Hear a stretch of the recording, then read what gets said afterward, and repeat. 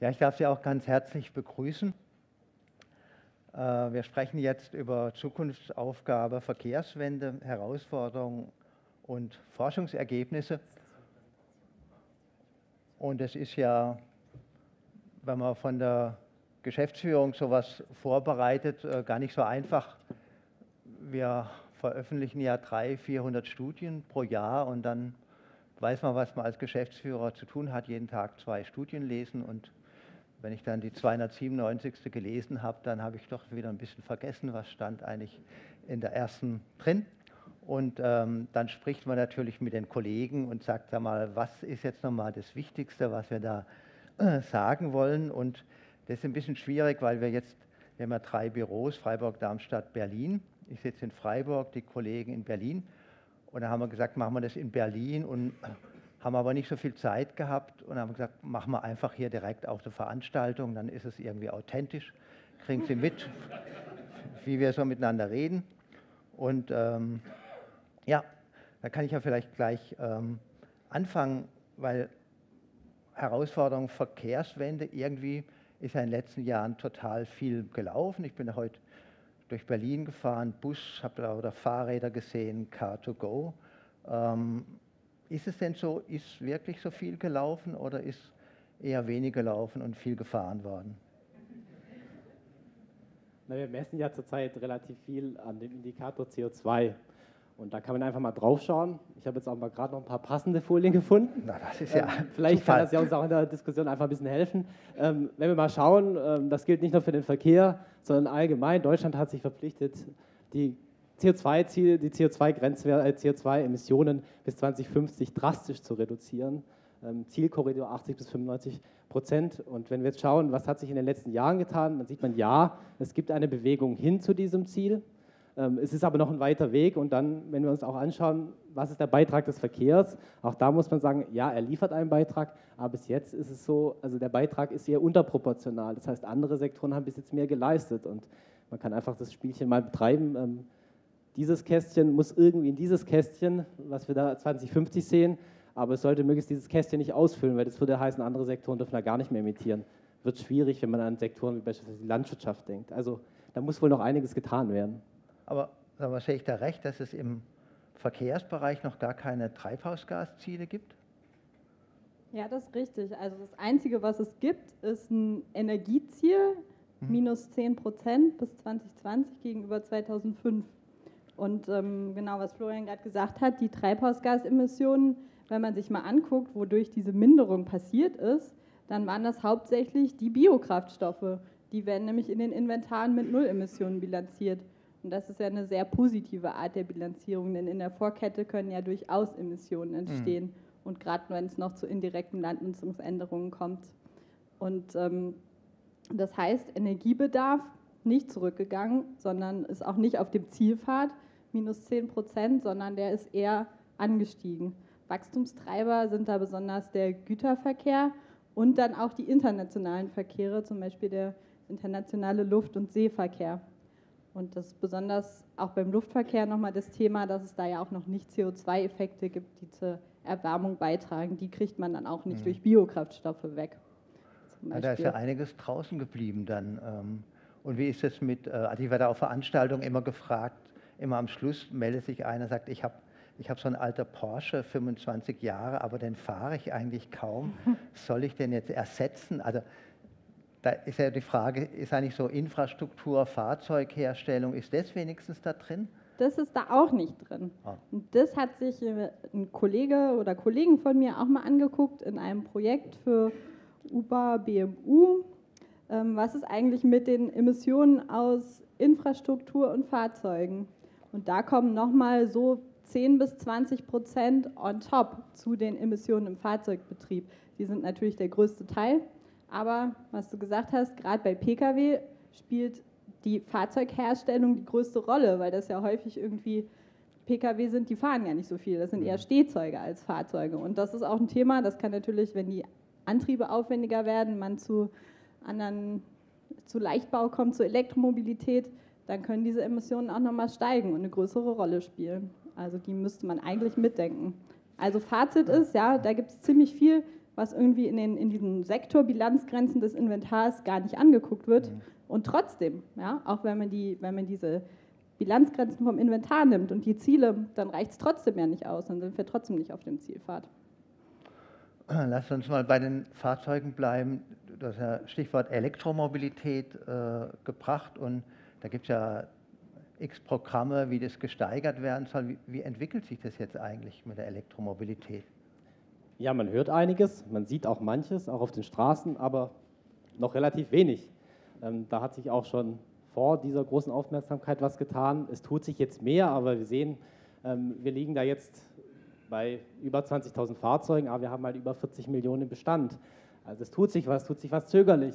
Da gibt es nicht einen Schuldigen, es gibt bloß eine große Herausforderung, weil wir haben einen Verkehrssektor, der ganz anders als andere Sektoren, auch im Energiesektor wissen wir mittlerweile, gibt es ganz viele Technologien. Im Verkehrssektor gibt es im Wesentlichen eine Technologie, die heißt Verbrennungsmotor. Es gibt einen Kraftstoff oder mehrere Kraftstoffsorten, aber das sind kohlenstoffhaltige Flüssigkraftstoffe, die sind super praktisch, äh, hohe Energiedichte, man kann die leicht tanken, die sind flüssig, man kommt weit damit. Und hier ist das ein Kulturwandel, das ist eine ganz andere Technologie.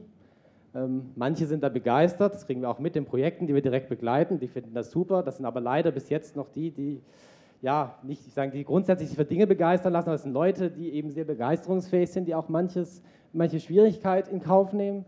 Das ist ein Problem. Wir haben einen Kulturwandel, der auch äh, mit einem Verkehrsverhalten einhergeht. Wir brauchen eine neue Infrastruktur. Auch das ist alles in den Anfängen. Das dauert noch, bis es aus der Nische rauskommt. Wir haben auch die Hersteller, die natürlich erste Angebote bringen, aber muss man auch sehen, bei vielen Herstellern war über Jahrzehnte der Verbrennungsmotor das Geschäftsmodell. Und in einem Daimler war ganz viel Daimler drin. Und in einem Daimler heute, der elektrisch ist, da wäre halt auch ganz viel Bosch und ganz viel Samsung drin.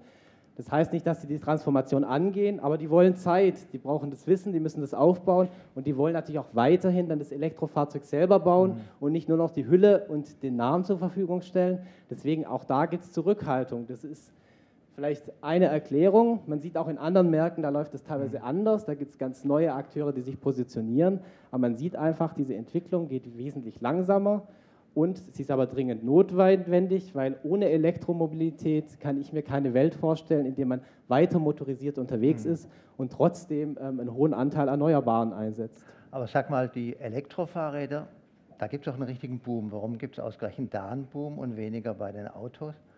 Ja, da ist vielleicht der Unterschied anders als bei den Elektrofahrzeugen. Per se erstmal das Elektrofahrzeug führt dazu, dass ich mit dem Fahrzeug erstmal weniger kann. Klar wird angeführt Fahrspaß ähm, und hohes Drehmoment, aber erstmal kann ich weniger fahren, ich muss länger laden. Pedelecs Beispiel, erstmal gegenüber einem konventionellen Fahrzeug, elektrisches Fahrzeug heißt, ich kann mehr, ich kann weiterfahren, ich kann schneller fahren, ähm, auch die Ladezeiten spielen nicht die Rolle. Also hier sind es zwei unterschiedliche ähm, mhm. vielleicht Baustellen. Okay. Naja, da sieht man, es geht doch sehr langsam voran. Das erinnert mich jetzt ein bisschen an den Schutz der Ozonschicht und FCKW-Ersatz in den 80er Jahren. Das war ja zuerst schien es ganz schwer und am Schluss hat man gesehen, es ist eigentlich ganz einfach. Man muss gar keine Strukturen ändern, einfach eine Chemikalie durch die andere ersetzen. Aber man hat die gleichen Kühlschränke gehabt, die Spraydosen, äh, die Schäume, die Klimaanlagen und so weiter. Von daher war das relativ einfach und hat sich doch viel geändert für die Umwelt im Laufe der Jahrzehnte. Und wenn man das jetzt überträgt und sagt, ja, wenn das jetzt aber schnell voranginge mit der Elektromobilität und alles elektromobil wäre, wäre dann die Sache geritzt? Also wir sind ja auch immer Optimisten und wir glauben auch, dass es vorangeht und die Elektromobilität den Durchbruch schaffen kann und es auch einfach muss, weil anders kommen wir sonst in unserer Gesellschaft, zumindest wenn wir Großteil noch motorisiert uns bewegen, äh, nicht in Richtung Klimaschutzziele. Das heißt, wir haben uns jetzt auch mal angeschaut, wie könnte die Welt 2050 aussehen, wenn wir wirklich bei den PKWs fast nur noch batterieelektrische Fahrzeuge haben. Das setzt natürlich auch Änderungen beim Nutzer voraus. In diesem Szenario, was ich jetzt hier auch mal kurz zeige, gehen wir aber weiter davon aus, dass die Mehrzahl sich so bewegt wie heute. Auch da kommen wir vielleicht noch mal später drauf, dass das nicht unbedingt äh, äh, gesetzt sein muss. Aber wir sehen einfach mal heute, ähm, ist Elektromobilität im Verkehr im Wesentlichen Schiene und das ist ungefähr der Energiebedarf. Wir sehen hier die Gesamtstromnachfrage heute. Wir haben jetzt bei einem Szenario gerechnet, das Projekt heißt E-Mobil 2050 für das Umweltministerium. Was ist eigentlich, wenn wir wirklich den Pkw-Verkehr massiv elektrifizieren, also mit batterieelektrischen Fahrzeugen im Jahr 2050, das ist durchaus vorstellbar, dann kommen wir in eine Größenordnung 106 Terawattstunden. Also für alle, die mit dem Energiesektor nicht vertraut sind oder nicht so vertraut sind, vielleicht so wie ich es vor diesen Projekten war, ähm, dann sieht man, das ist schon, wenn man heute sieht, über 500 Terawattstunden ist das eine erhebliche zusätzliche Nachfrage. Die ist auch in jetzigen EE-Ausbauszenarien nicht berücksichtigt und erfordert zusätzliche Anstrengungen.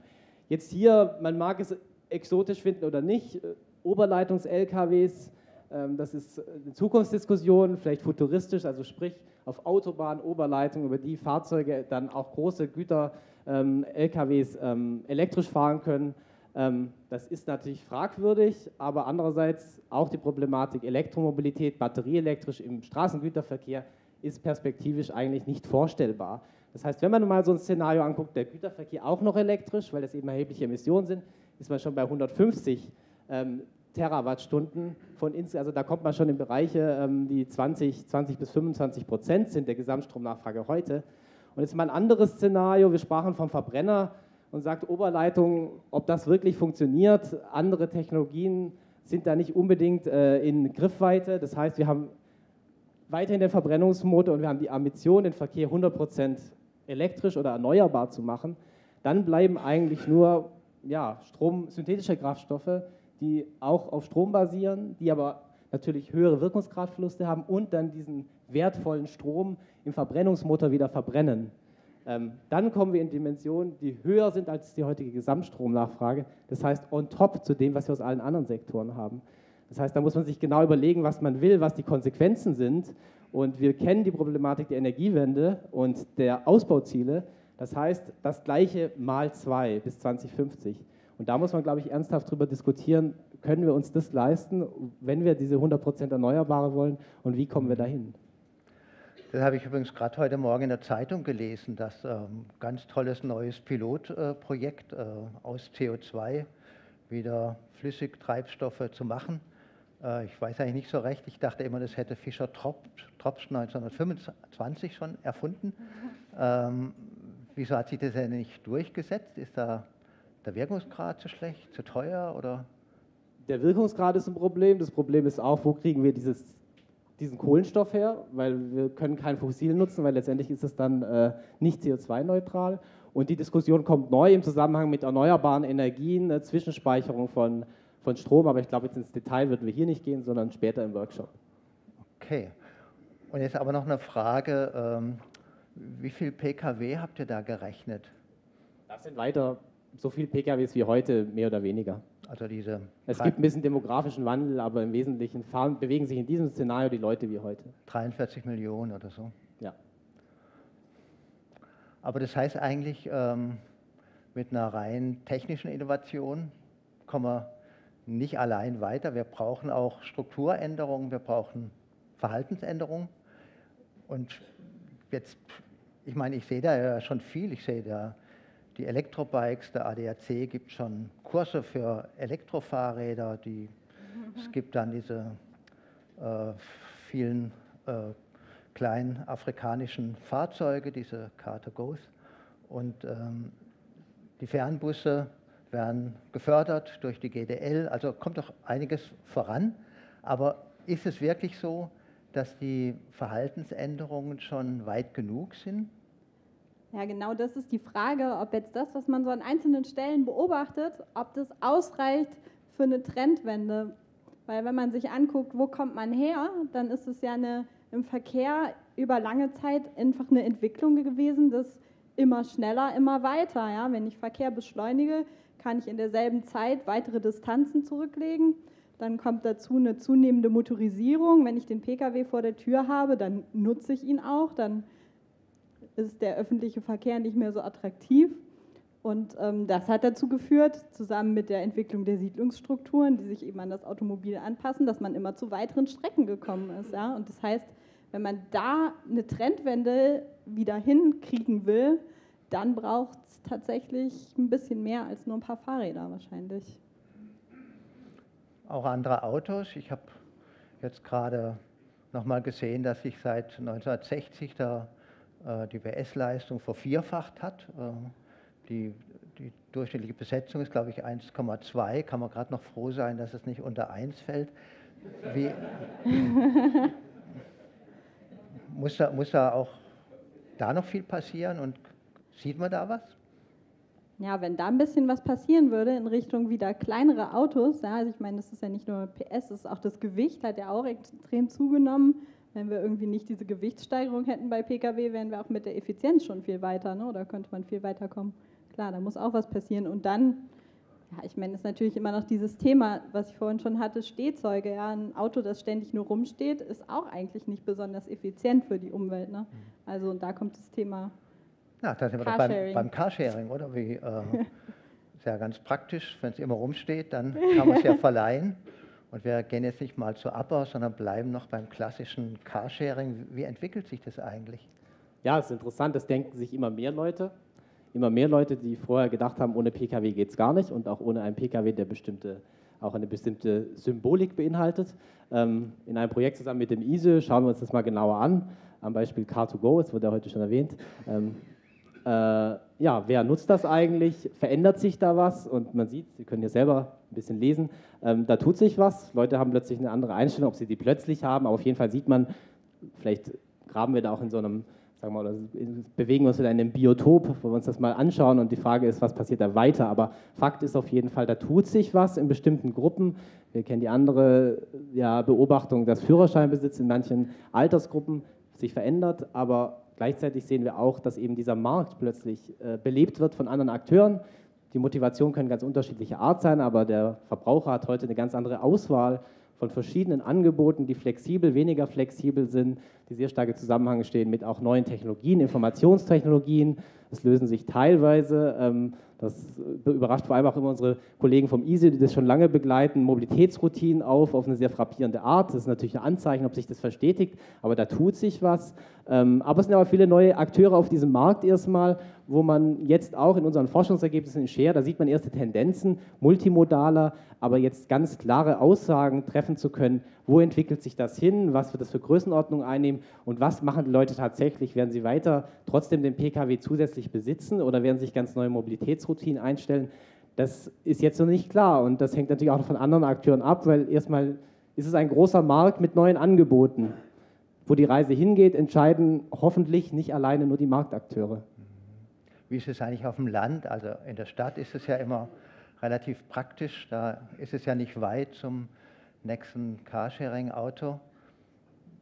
Auf dem Land ist es wesentlich schwieriger. Man sieht das ja auch, die neuen Angebote, die gibt es vor allem in den großen Städten mit einer hohen Bevölkerungsdichte, auch mit einer hohen Affinität zu diesen Angeboten und vielleicht auch vorher schon dem Fehlen eines PKWs. Auf dem Land ist es immer noch der PKW, der so die Flexibilität schlechthin gibt. Da ist eher noch der andere Trend durch den demografischen Wandel, dass Schülerverkehre ähm, zurückgehen und dann also praktisch die Grundversorgung weiter wegbricht, ähm, weil diese Busse auch nicht mehr dreimal am Tag fahren, sondern gar nicht mehr.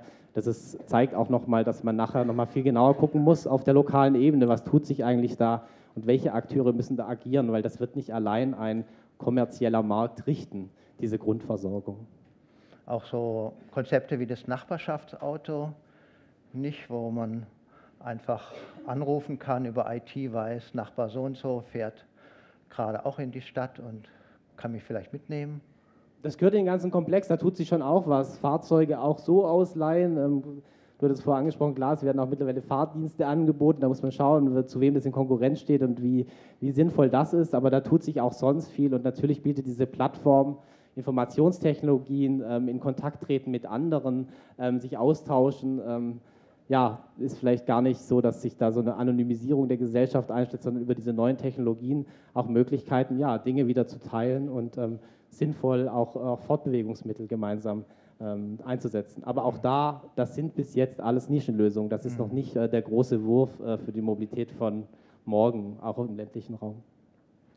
Aber insgesamt heißt es ja, dass viel äh, gemacht werden kann in den Gemeinden, in den, in den Kommunen und das sieht man ja auch schon viele Entwicklungen. In, Fahrrad, in Freiburg haben wir ja zum Beispiel jetzt die äh, ersten Fahrradschnellwege, so wie in, wie in Holland. Äh, New York, habe ich gerade gestern gelesen, führt flächendeckend Tempo 40 ein. Also bei Geschwindigkeitsbegrenzung kann man ja von Amerikanern auch viel lernen und vielleicht wird Minister Dobrindt am Schluss wenigstens ein City-Maut einführen. Also das heißt, man hat ja eine ganze Reihe von Handlungsmöglichkeiten in der Stadt. Und wie sieht es insgesamt aus?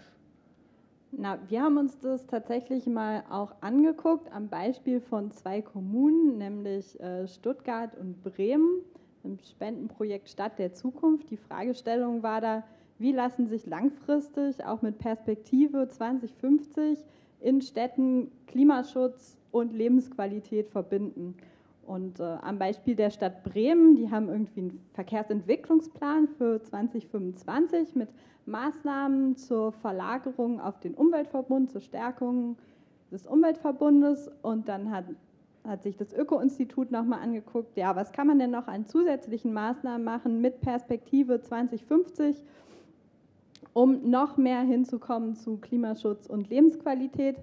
Und ähm, ja, dann das zentrale Thema eigentlich dabei ist, dass man eben diesen Trend, den wir schon diskutiert haben, im Sinne Pkw nicht mehr so ein großes Statussymbol, Pkw-Besitz wird weniger wichtig, dass man es schafft, diesen Trend halt zu verstetigen und ganz klar die Alternativen zu fördern, also Carsharing immer in Kombination mit ÖPNV und besonders aber auch den, den Radverkehr. Und in unserem Szenario kommen wir da eben äh, hin bis zu einem Model Split, wo dann 37 Prozent der Wege mit dem Fahrrad zurückgelegt werden in Bremen. Das ist dann natürlich nicht mehr nur unbedingt das klassische Fahrrad, sondern das können alle möglichen Formen von leichter Elektromobilität sein, Pedelecs, E-Bikes, was man sich so hm. vorstellen kann auch. Ja, habt ihr da jetzt nicht ein bisschen geschummelt? Also ich meine, wenn man Fahrradverkehr irgendwie zeigen will, dann nimmt man halt Freiburg, Münster oder Bremen. Und, ähm, du meinst, weil Bremen eh schon auf einem hohen Niveau ja, halt startet, ja, natürlich. Dass es da klappt. Klar, dass das, also ich meine, aber das ist auch denkbar in anderen Städten. Man muss halt die entsprechende Infrastruktur dafür schaffen, ja, das ist, damit sich der, der Fahrradfahrer dann auch wohlfühlt auf seinem Rad. Ich meine, das Fahrrad, so toll das Pedelec ist, auf einer sechsspurigen Straße ist halt irgendwie kein Spaß. Ja? wenn die Rahmenbedingungen stimmen, dann geht das. Also ich meine, bis 2050 ein bisschen Zeit ist auch noch, da geht das auch in anderen Städten. Vielleicht noch eine Frage zur Lebensqualität. Also es geht ja nicht nur um CO2-Emissionen.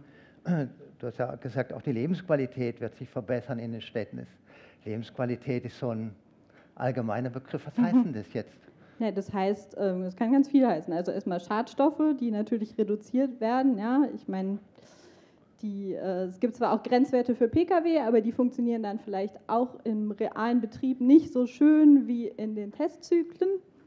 Ähm, dann ein zweites Thema ist einfach die Fläche. Wenn ich die Autos teile und intensiver nutze und weniger Autos nutze, dann habe ich mehr Raum für, ja, für, für Parks und weiß nicht, ich kann diesen ganzen Straßenraum anders nutzen. Ähm, das sind zwei Themen. Ich meine, Gesundheit ist auch ein Thema, das ist sicher auch beim Radfahren förderlicher, als wenn man hinterm Pkw sitzt. Also es gibt äh, viele Aspekte. Ja, und Stille, Natur kann wieder zurückkommen. Genau. Vielleicht ein Hinweis auf die Grafikrecorderin. Wir sind ja ganz modern, also wir machen ja heute alles mit Livestream und Grafikrecorderin. Also es ist nicht so, dass wir noch nicht fertig sind mit der Veranstaltung. Wenn Sie vielleicht noch ein paar Vögel dazu malen würden, das wäre einfach wunderbar. Und ähm, mit den, ähm, ja, mir ist es, mir ist es neulich äh, aufgefallen, ich musste einmal ähm, am Sonntagmorgen um 7 Uhr auf den Zug und da bin ich durch Freiburg gefahren und da war einfach überhaupt niemand unterwegs und dann bin ich durch die größte Hauptverkehrsstraße gefahren, die hässlichste, wo man sonst möglichst schnell weg will. Und da, da waren dann Vögel, da war es ganz ruhig und dann ist man vorbeigegangen und dann hat man plötzlich Häuser gesehen, wunderbare Häuser. Normal fährt man immer mit dem Kopf nach unten möglichst schnell aus der Straße und einfach die Vorstellung, dass es anders sein könnte wie damals, als man diese Städte konzipiert hat, ist wirklich sehr schön. Das wäre auch eine ganz andere Art von Lebensqualität. Ich habe auch schon gehört, dass die, ähm, die Häuslebesitzer auch ganz äh, erfreut wären, wenn ihre Preise steigen würden auf den Straßen. Ja, Dazu könnten natürlich auch äh, ganz stark die Elektrobikes beitragen. Und Ähm, was Sie vielleicht nicht wissen, ich habe 1989 das erste Elektrobike in Deutschland angemeldet. Das war aber irgendwie offensichtlich 25 Jahre zu früh. Manchmal erlebt die Industrie ja auch immer, Produkte kann man auch zu früh auf den Markt kommen, aber mittlerweile hat sich ja doch einiges geändert. Es ist nicht mehr das Dreigangfahrrad mit dem Velosolex Elektromotor. Ja, mittlerweile gibt es tatsächlich eine ganz schöne Vielfalt an, ähm, an ähm, Angeboten, ja, an, an, Fahrzeugen, vom Lastenrad bis ähm, zum Scooter, alles Mögliche ist da und da bewegt sich total viel. Ja. Was man vielleicht im Blick haben muss, ähm, dass alleine das Fahrrad dann leider doch nicht das ganze Verkehrsproblem löst. Ja? Weil die Langstrecke im Pkw, das ist halt immer noch, das haut richtig rein. Es sind immer noch etwa 60 Prozent des Energiebedarfs entstehen auf Strecken über 20 Kilometer. Ja? Und da kommt irgendwann dann auch vielleicht sogar das Pedelec an die Grenzen. Und da muss man sich auch was vor überlegen, wie man damit umgeht. Mhm. Aber es heißt doch immer, 75 Prozent aller Fahrten oder sowas sind bis 10 Kilometer. Ja, genau. Ist ja der Unterschied immer zwischen der Anzahl der Fahrten und der Fahrleistung. Ja? Wenn ich ich habe zwar viele kurze Fahrten, deswegen gibt es trotzdem immer noch die vielen Emissionen auf den langen Fahrten. Ja. Okay. Heißt aber, die Fahrradfahrer werden auch nicht die Welt retten. Ähm, muss nicht also alleine. irgendwie sowas wie ein, nicht alleine, ja. Aber das heißt ja, eigentlich, man braucht so ein richtig gutes Gesamtkonzept. Und gibt es denn sowas? Na, also eine, eine Option, wie das aussehen könnte, haben sich die Umweltverbände ähm, überlegt mit wissenschaftlicher Unterstützung des Öko-Instituts in dem Projekt äh, Klimafreundlicher Verkehr in Deutschland. Und da wird dann eben klar, ja, neben Förderung Radverkehr braucht man irgendwie ein ganzes Bündel an Maßnahmen.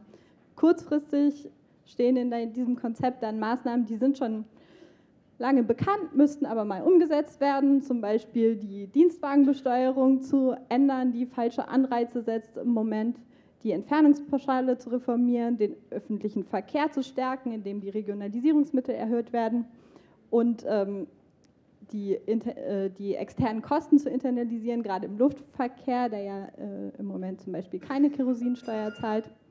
Und ähm, langfristig muss man dann auch hin dazu, dass man irgendwie eine, die Stadt- und Verkehrsplanung mehr integriert, zu einer Stadt der kurzen Wege kommt. Das muss man schon heute andenken und das Thema Nutzen statt Besitzen stärkt. Und in dem Konzept ähm, kommt man tatsächlich dann zu 50 Prozent Umweltverbund im Jahr 2050 im Personenverkehr. Und was, was zeigen nochmal diese ganzen Linien an? Ah, das ist jetzt ähm, die, die Verkehrsleistung im Personenverkehr in den verschiedenen Verkehrsträgern. Also unten das Flugzeug, dann kommt der Pkw hier dargestellt nach ähm, normalen und geteilten Pkw und oben sind dann halt Fußradverkehr und der öffentliche Verkehr, die halt deutlich zunehmen in diesem Szenario. Mhm. Und insgesamt geht es dann halt auch leicht runter. Das kommt aber jetzt halt nicht nur durch kürzere Wege, sondern auch ein bisschen durch den Bevölkerungsrückgang, der dahinter liegt. Aber das ist alles Personenverkehr. Das ne? ist alles Personenverkehr. Und wie sieht es im Güterverkehr aus? Das sind doch immer so Zahlen, der verdoppelt sich bis irgendwann. Und ja, ich meine, da sind ja auch die, die Prognosen von der letzten Verkehrsprognose bis zur neuen Verkehrsprognose auch wieder ein bisschen äh, vorsichtiger ausgefallen, äh, was die Entwicklung des Güterverkehrs angeht. Vorsichtiger aber, heißt was? Ja, dass die, die Verkehrsleistung steigt noch an, aber nicht mehr so doll, wie man das noch vor okay. noch 2004, 2005 prognostiziert hat. Ähm, ja, aber die, der Güterverkehr ist auf jeden Fall eine, eine harte Nuss, ja, nochmal eine härtere Nuss als der, der Personenverkehr. Das ist ganz klar so, weil der hängt einfach massiv ab von Wirtschaftsverflechtungen, von Konsummustern. Dann gibt es irgendwie neue Trends wie irgendwie Online-Einkaufen, bestellen. Das spielt, könnte auch in Zukunft da noch mit reinspielen. Aber das bedeutet nicht, dass man gar nichts irgendwie da machen kann ja, im Güterverkehr. Und in dem Konzept ist halt ganz klar ein wichtiges Thema die Verlagerung auf die Schiene, wo man halt kurzfristig die Kapazitätsengpässe beheben muss im Schienennetz, langfristig aber auch so eine Art Zielnetz 2050 mal konzipieren muss, wo man dann hin will. Und das Ganze unterstützt durch entsprechende Preissignale auch äh, im Lkw-Verkehr. Und wenn man das noch einen Schritt weiter denkt, langfristig, dass man dann auch hinkommt zu einer Transformation, die eben nicht nur im Verkehrssektor stattfindet, sondern auch in den anderen Sektoren, was dann bedeuten kann, dass man mehr hinkommt zu regionaleren Wirtschaftskreisläufen, dass man, wenn man irgendwie Vollversorgung mehr oder weniger mit erneuerbaren Energien hat, natürlich auch kein Transport von fossilen Energieträgern mehr anfällt, dann ähm, kann man auch beim Güterverkehr was machen. Okay, und gibt es ja da noch gleich viel Laster oder weniger in eurer Berechnung? Nein, das sind jetzt weniger, ne? weil der Straßengüterverkehr geht ja ein bisschen mhm. runter. Okay. Also, aber schon, es gibt schon noch welche. Und kannst du mal die Folie vorher äh, mit dem Personenverkehr, wie war das da? Mit wie viele Autos habt ihr da prognostiziert im Jahr da 2050? Kommt der Pkw-Bestand halbiert sich. Ja? Die Fahrleistung geht nicht ganz auf die Hälfte zurück, aber man hat ja die geteilte Nutzung, wo die PKWs intensiver genutzt werden und nicht mehr so viel rumstehen dazu. Dadurch gibt es dann weniger Fahrzeuge. Okay, also ein gutes Konzept für 2050. Ähm, ich bin allerdings da immer ein bisschen, wie soll ich sagen, also ich finde es toll, wenn man gute Konzepte bis 2050 hat, aber irgendwie ist es ja doch noch eine relativ lange Zeit äh, bis dahin. Ich frage dann immer, was kann man denn jetzt in den nächsten 10 oder 15 Jahren machen bis 2030? Ja, haben wir uns auch angeschaut und äh, es soll nicht der Eindruck entstehen, dass wir nur mit bestimmten Leuten reden und mit bestimmten Verbänden Konzepte machen. Wir reden mit allen, wie auch unser Geschäftsführer am Anfang gesagt hat, ist uns auch ganz wichtig. Es gibt verschiedene Perspektiven, verschiedene Interessen und deswegen ist es auch bei uns frühzeitig äh, gute Sitte gewesen, dass wir mit allen Stakeholdern reden, wie kann eigentlich äh, Klimaschutz im Verkehr aussehen. Und das Umweltministerium hat dankenswerterweise, dankenswerterweise seit 2005 auch dafür eine Finanzierung im Projekt Renewability, wo wir eben mit Stakeholdern aus ganz verschiedenen Branchen, von der Automobilbranche über die Energiebranche, ähm, natürlich auch den Umweltverbänden, anderen gesellschaftlichen Akteuren ähm, gemeinsam diskutieren die Problematik. Es gibt langfristige Klimaschutzziele und wir müssen uns überlegen, wie wir da hinkommen und äh, wie wir mit zusätzlichen Maßnahmen auch wirklich ähm, diese Emissionseinsparung schaffen. Wir rechnen das ganz konkret durch. Das ist natürlich immer Zukunft und konkret durchrechnen, so gut es eben geht. Wir machen das transparent, wir diskutieren das mit den Akteuren und eine Zielaufgabe ist auch jedes Mal, wir sind gerade in die dritte Phase gestartet, wie gesagt, in 2005 haben wir damit begonnen, mit auch einer großen Kontinuität bei den Stakeholdern, die beteiligt waren. Hier 2012 die Ergebnisse, ein zentrales Ergebnis ähm, von Renewability 2 und sag mal, die Aufgabe war, wie können wir Klimaschutz im Verkehr hinbekommen, der über ein Basisszenario hinausgeht, weil in dem Basisszenario, also Fortschreibung bestehender Politiken, da tut sich nicht sehr viel. Hier ist auch noch ein großer Anteil Biokraftstoffe drin. Man sagen muss, das würde jetzt auch nach heutigen Rechnungen noch mal etwas leider ähm, geringere Emissionsminderung bringen. Das heißt, wir haben uns gemeinsam überlegt, welche Maßnahmen gibt es, wie können die wirken, was sind sinnvolle Kombinationen. Natürlich unter der Maßgabe, möglichst hoher Beitrag des ähm, Verkehrs. Und natürlich ist es so in diesem Szenario, was dann wirklich auch knappe 40 Prozent damals an CO2-Einsparung brachte, also damals wegen der Biokraftstoffbilanzierung, die heute wahrscheinlich anders aussehen würde, trotzdem einen relevanten Beitrag, wo man sagen muss, auch so eine Entwicklung, die würde auf einer Entwicklung liegen, wo man sagt, das passt schon ganz gut zusammen mit den Zielen, die wir langfristig haben als, Gesellschaft, die CO2-Emissionen zu reduzieren. Ähm, und in dem Szenario stecken natürlich Maßnahmen drin, die nach heutiger Sicht wahrscheinlich nicht zum Wunschkatalog eines jeden Verkehrspolitikers gehören. Ich nenne mal ein paar mit auch der Einschränkung. Das heißt natürlich auch nicht, dass alle Akteure sagen grundsätzlich, sie wollen unbedingt diese Maßnahme, aber sie sehen, mit so einem Bündel würde man zumindest so ein Ziel erreichen. Und wenn ich die Maßnahmen nenne, dann sind das eben beispielsweise hohe Effizienzsteigerung bei den Fahrzeugen.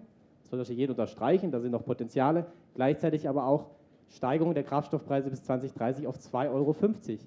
Das ist weit weg von dem, was zurzeit politisch opportun ist, ist aber ganz, kann ganz zentral sein, wenn es um Rebound-Effekte geht. Mehr Fahrleistung bei effizienteren Fahrzeugen. Wir haben eine weitere Besteuerung, also LKWs. Die LKW-Maut steigt auf 50 Cent bis 2030. Wir haben ein Tempolimit auf Autobahnen. Wie hoch ist sie denn heute? Die liegt ungefähr bei 13, 19 Cent, also es ist äh, mehr als Verdopplung. Ähm, wir haben äh, eine wir haben eben das angesprochene Tempolimit, wir haben eine Veränderung oder Abschaffung der Pendlerpauschale, also alles Maßnahmen, die bekannt sind, die zumindest an die sich keiner rantraut. Aber wir haben halt auch gesehen, wenn man so eine Minderung will, bräuchte man solche Maßnahmen. Und ich möchte es gar nicht weiter kommentieren, vielleicht nur in der eine Richtung. Auf der einen Seite steht ein Ziel, was wir, was erstmal sehr abstrakt ist, wo wir alle Prozentzahlen kennen. Äh, und dieses Szenario zeigt mal eine Richtung in diese Richtung dieses Ziels auf.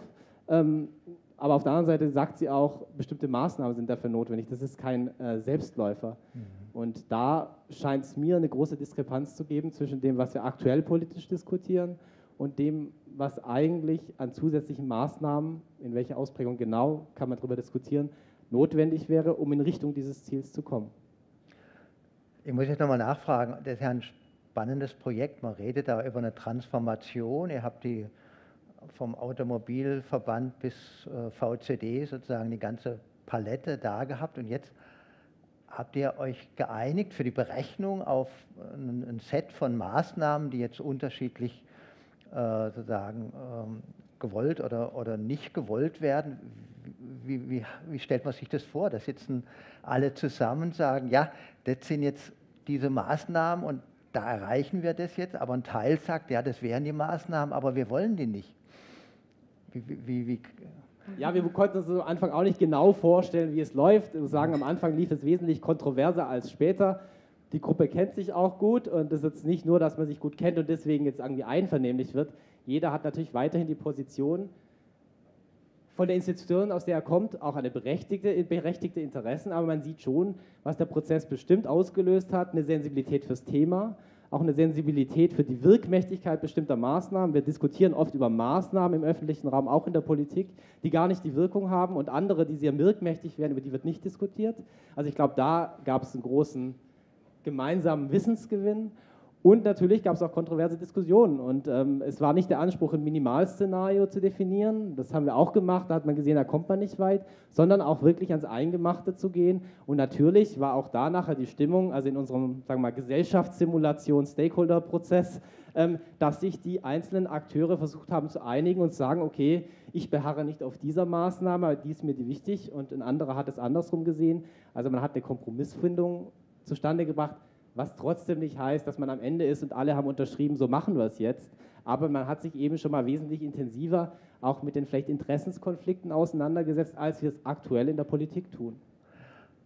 Ganz am Anfang auf der ersten Folie war ja der Hinweis, dass es noch gar keine äh, Reduktionsziele für Treibhauseffekte im äh, Verkehrsbereich gibt. Und jetzt mit den Ergebnissen von so Studien könnte man das ja machen und im Gegensatz zu anderen großen Zielen, die man mal schnell hinblubbert, wäre da ja auch gleich der Maßnahmenset dahinter. Und ist das vielleicht auch der Grund, warum man solche Ziele nicht setzt, weil das vielleicht politisch doch nicht so einfach durchzusetzen ist? Ja, das ist eine Debatte und ich glaube, das geht schon in die Richtung. Also irgendwie müssen wir, wenn wir das Problem gemeinsam erkennen, uns zu Klimaschutzzielen auch bekennen als Gesellschaft, müssen wir die einzelnen Sektoren durchgehen und überlegen, wie kommen wir da hin? Und es ist wahrscheinlich, äh, braucht da auch irgendwie eine gesellschaftliche äh, Basis für, dass alle sagen, wir wollen dieses Ziel erreichen und auch vielleicht politisch die Zielgabe. Und das ist ganz verbindlich, da gibt es kein Zurück, weil ich glaube, die Energiewende, die würde jetzt auch nicht so stattfinden mit allen, auch Marktakteuren, wenn nicht das Ziel klar wäre und man wüsste auch nicht, eine nächste Regierung wird dieses Ziel nochmal rückgängig machen. Das ist ja auch ganz banal. Ähm, Investitionssicherheit. Ich weiß, es wird nicht nochmal einen Ausstieg aus dem Atomausstieg geben und es wird nicht nochmal eine Energiewende recht zurückgeben äh, zu fossilen Kraftwerken. Das weiß jeder, das weiß auch der letzte Akteur, der bis zuletzt darauf gesetzt hat, dass äh, sich bestimmte Dinge noch weiter in die Zukunft verlängern. Und ich glaube, im Verkehr muss das vielleicht nicht, das ist nicht ganz so einfach, wie wir gehört haben, es ist nicht nur Technologie, aber wir haben gesehen, es braucht so eine Transformation. Wir können nicht stehen bleiben, wo wir sind. Auch die angetriggerten Maßnahmen, die führen noch nicht zu diesen langfristigen Zielen, zumindest wenn der Verkehr wirklich einen relevanten Beitrag leisten soll. Und das heißt, wir müssen uns gemeinsam auf Ziele einigen und dann müssen auch alle irgendwie versuchen, dass sie daran mitwirken. Und das muss auch für viele, wird es auch neue Chancen eröffnen. Das ist ja nicht, dass äh, alles irgendwie wegreguliert wird, sondern wir haben auch heute einiges erwähnt und wir kennen es auch, äh, vieles tut sich, viele neue Unternehmen entstehen mit neuen Ideen. Also man muss sich da eben ranwagen mhm. und auch alle mitnehmen, auch ja. die einzelnen äh, Nutzer und Bürger. Jetzt seid ihr ja, wir machen ja so eine Art episches Theater da oben, aber jetzt seid ihr ja ein mhm. bisschen aus dem Drehbuch äh, raus, in dem ihr schon die nächste Folie aufgezeigt äh, habt.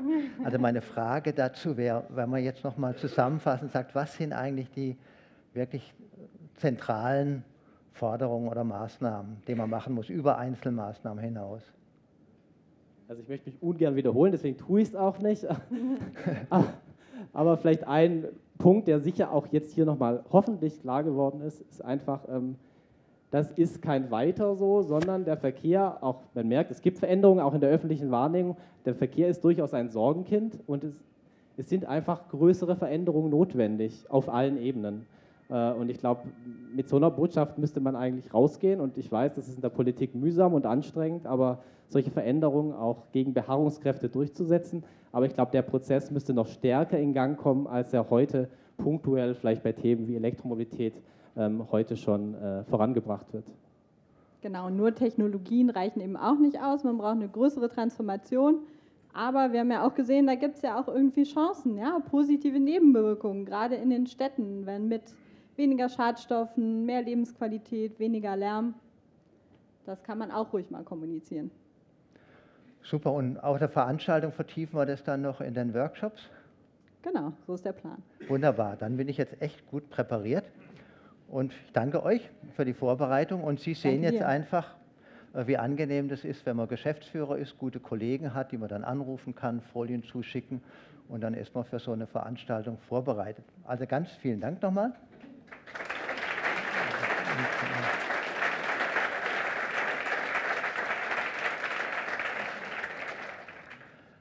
Äh, wir haben jetzt ähm, eine kurze Pause. Es geht um 10.45 Uhr weiter in den Workshops. Workshop 1, Potenziale neuer Mobilitätskonzepte. Workshop 2, Stiefkind Verkehr, zukünftige Rolle der Elektromobilität im Stromsektor. Workshop 3 zum Flugverkehr. Die Workshops sind jeweils gut ähm, angezeigt. Äh, Sie können auch gerne noch einen Kaffee äh, mitnehmen oder schnell trinken. Und vielleicht nochmal der Hinweis, äh, auch in den Workshops werden wir mit Livestream arbeiten. Wir wollen ja auch zur Verkehrsvermeidung beitragen. Also es wollten ja noch Tausende hier teilnehmen. Es gibt auch dort jeweils einen Grafikrekorder oder Grafikrekorderin. Und auch Ihnen nochmal ganz herzlichen Dank für das Mitzeichnen und Mitmalen.